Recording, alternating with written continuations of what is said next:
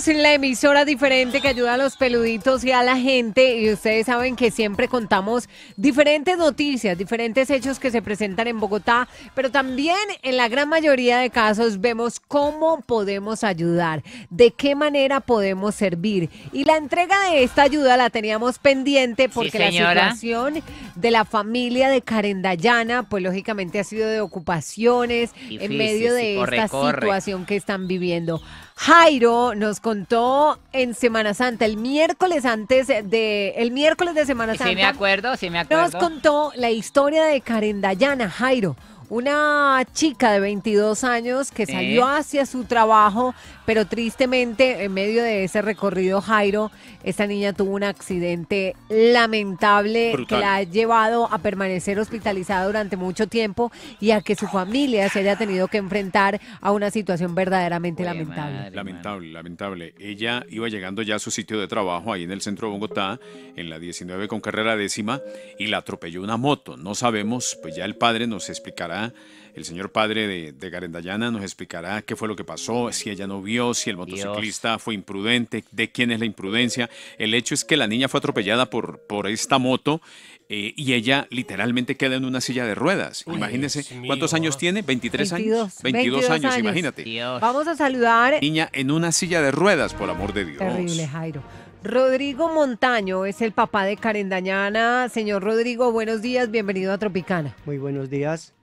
Un abrazo para usted. Bienvenido a Tropicana. ¿Qué pasó con Karen eh, ella supuestamente se fue a trabajar. Ella salió a su trabajo el día domingo 17 a las 5 y media de la mañana. Salió de Soacha. Sí, señor.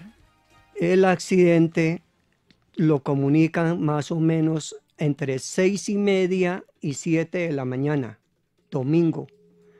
Ella quedó en coma inducido 12, 12 días. Mm. Como NN, a ella se le perdieron los papeles, le robaron los papeles, le robaron todo. Dios santo. Eh, en medio de, ese proceso de ese proceso. En medio del drama. Em, nosotros la vimos como desaparecida el día lunes después de las 10 de la noche. Yo personalmente la coloqué en el Face y inmediatamente a la familia empezó a llamar que qué había pasado con Karen. Así ah. pasó. Tengo una sobrina que trabaja en una clínica y ella soltó el, ¿cómo se dice eso? El, la, señal de alarma. La señal de alarma a todas las clínicas de Bogotá. Ah, ella fue la que me llamó, claro. Ella, pienso.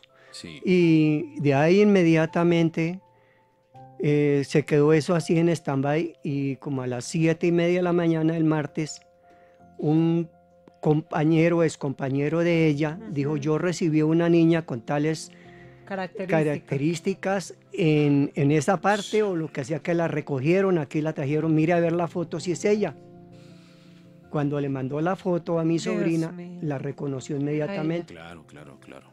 Nosotros estuvimos ya pendiente de ella después casi de las 11 del mediodía para empezar que le empezaran a hacer los procesos porque nadie le había hecho nada. Estaba en coma inducido, mm. como NN o sea, más de 72 horas. O sea, que si yo no aparezco o la familia no aparece, la dejan morir ahí. La dejan morir ahí. Así de sencillo. Dios santo. Entonces. ¿Cuáles fueron las consecuencias, señor Rodrigo, de este accidente? ¿Cómo está Karen Dayana? En este momento, eh, ya ella lleva ya tres días que salió. De todas maneras, ella estuvo en coma inducido. Eh, la mente todavía no está todavía está trastornada, no recuerda exactamente qué fue lo que pasó. Ella, porque ahorita ayer personalmente dijo, papá, mamá, ¿yo por qué estoy acá? ¿Qué tengo? ¿Qué fue lo que me pasó? Le dijimos, mami, creo que de su merced usted salió a trabajar y usted tuvo un accidente. ¿Cómo así? Cuando le contamos que había durado, 12 días en coma inducido, entubada, todo, totalmente entubada. Entonces, terrible. a ella se le partió, le partieron la pelvis. Dios Tanto adelante como atrás. Partida quedó así en L. ¿A qué velocidad iba este sujeto? Quién sabe, porque personalmente con el accidente que se ve, el señor se abrió la rodilla totalmente y se desfiguró la cara. Él también quedó herido A él lo de llevaron gravedad. al hospital de gravedad también. Tremendo esto. Dios mío, No. Tremenda la historia y la situación de Karen Dayana, esta joven de 22 años. ¿Usted a qué se dedica, don Rodrigo? Eh, Actualmente ya no puedo trabajar porque yo sufrí un infarto. Yo soy conductor. ¿Y la mamá de Karen Dayana? No, yo soy separado hace 20 años. Pero ella está con, con su Ahorita niña. en este momento ella está pendiente de la niña y de nosotros. Y ella no puede trabajar por estar con No, ella. no, no, no, por ningún momento. Pues cuando nosotros contamos la historia aquí en Sí, Tropicana, señora.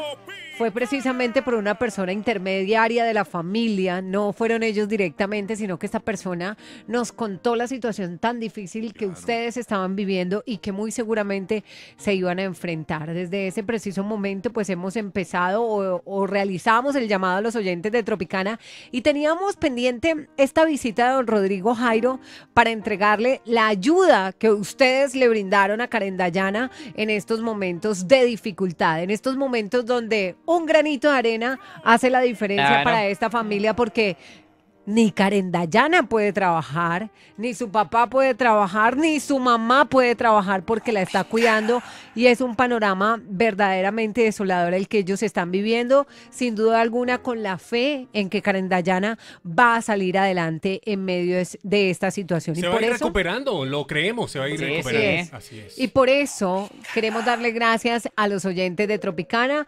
Siempre hacemos entrega de todo lo que ustedes han hecho llegar. Y lo primero, aquí en la parte de abajo, don Rodrigo, hay unos pañales para que usted lleve porque sabemos que ese ha sido uno de los más grandes gastos que ha tenido en estos últimos días. Pero adicional a eso, en nombre de los oyentes de Tropicana 102.9, le, le hacemos entrega a Karen Dayana por medio de usted de 1.700.000 pesos que sabemos que es de bendición para ella, para su casa, para su esposa, para su familia, en medio de este momento de Ay, qué dificultad. bueno. ¿Qué le dice don Rodrigo a los oyentes de Tropicana que le han hecho llegar esta bendición? Gracias lindo! para todos, es una bendición en este momento porque realmente no terminé lo que le acabó de pasar más a la niña. A ella le, le partieron la clavícula Dios también, santo. izquierda y tiene la par- partida la pierna derecha también. Reconstruida la oreja izquierda. No, Dios mío. Tiene una cirugía Cosa, en la cabeza Dios. del golpe que tuvo también. Cosa, qué cosa. Y todo, repito, por una situación de imprudencia, hombre. Muy Sí, es seguramente. No, no, no. Así de sencillo. No, qué barbaridad. Que sea este Hombre, no alivio. ha puesto cara, no ha hecho nada, no ha aparecido ni nada. De todas maneras, en la villa del Señor se ven las cosas. Así es. Muchas gracias a todo, a toda la familia de Tropicana, a toda la familia que escucha. Gracias para todos. Gracias, Rodrigo. Gracias. Gracias por acompañarnos, gracias por informarnos, gracias por llamar, gracias por buscarnos. De verdad que es un desafío muy grande el que tenemos de apoyar esta familia que está pasando por este Así momento. tan es. Gracias a todos los oyentes de Tropicana que como siempre nos permiten ayudar, nos permiten darle la mano a aquellas personas que lo necesitan. Así como la historia de Karen Dayana, hemos contado muchísimas historias y ustedes saben que siempre las ayudas que ustedes brindan terminan en las manos de las personas que Así lo es. necesitan y es lo que hacemos aquí en Tropicana. Don Rodrigo, un abrazo a Karen Dayana, un saludo muy especial a toda su familia. Eh, esperamos que se recupere pronto de esta situación tan difícil que estamos eh, o que están viviendo ellos en estos momentos. Gracias de nuevo a todos los oyentes que demuestran una vez más que en Tropicana los buenos somos más. Somos Tropicana, la emisora diferente Que ayuda a la gente.